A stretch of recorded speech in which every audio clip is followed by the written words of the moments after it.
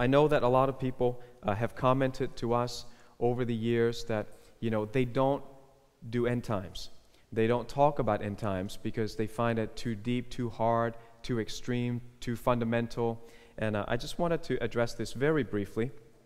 We have here Dr. James Dobson recently said the fall of Western civilization is at hand. Would you call Dr. James Dobson, uh, founder of Focus on the Family, a bit too extreme? No.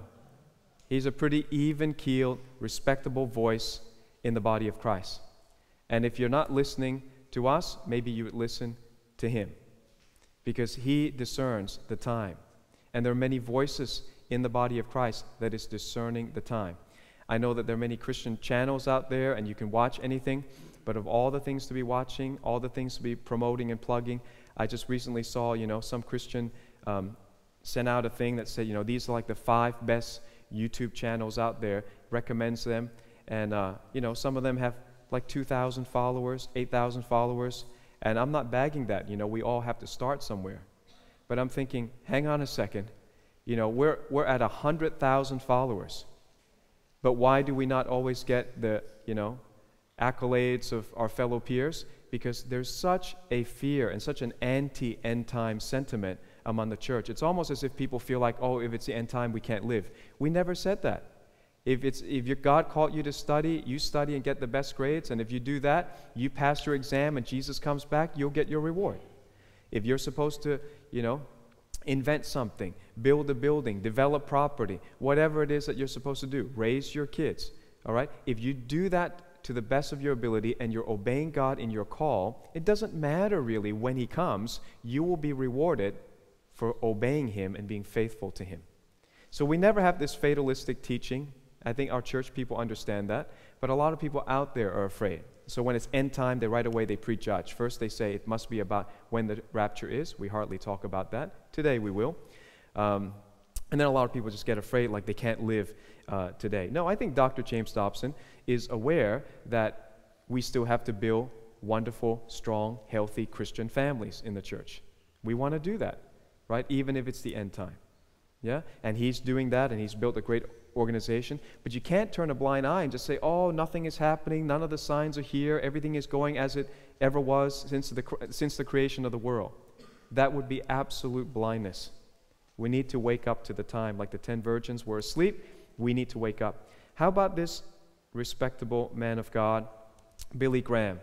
You know, he wrote or he published in 2010, and I think 2010 was a key year in the end times right? The Haiti earthquake, many things happened in 2010 that seemed to be a pivot point. And interestingly, Billy Graham, who's been soul winning, you know, more than most of us, right? All these years, he signaled at 2010 storm warning. Do you call Billy Graham a bit extreme? All right? I, I don't, you don't, you know, maybe somebody does, but I think most people don't. I think he's been a, one of the very uh, respected voices for the body of Christ. And he said this back in 2010 there is only one answer to the travail of this present age, and it is found in the ageless pages of God's Word, the Bible. The Bible repeatedly tells us that someday Christ will return, not in weakness, the way he came the first time, but with power and glory and with great authority. We should be teaching our people Jesus is coming back, his return is near. We don't have to be dogmatic about when, but we shouldn't be completely oblivious to the signs of the time. That's how many people missed the first coming of Jesus Christ. What a tragedy that was. Then Billy Graham updated what he said in 2013 to WorldNet Daily. He wrote, There's a great deal to say in the Bible about the signs we're to watch for and when these signs are uh, when these signs all converge at one place, we can be sure that we're close to the end of the age. And those signs, in my judgment, are converging now for the first time since Jesus made those predictions. Are we on some fringe? Are we on a tangent? Is this some fundamental crazy thing?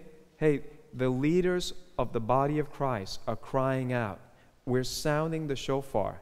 And I hope pastors out there who've been turned off or maybe uh, were disappointed back in the 80s or the 70s and heard so much teaching and nothing happened, please never be turned off to prophecy. This is part of God's word. And prophecy is given to encourage us and also to prove God's word is true and to encourage us that He's coming soon. We should live like that. So I think this is a bit extreme.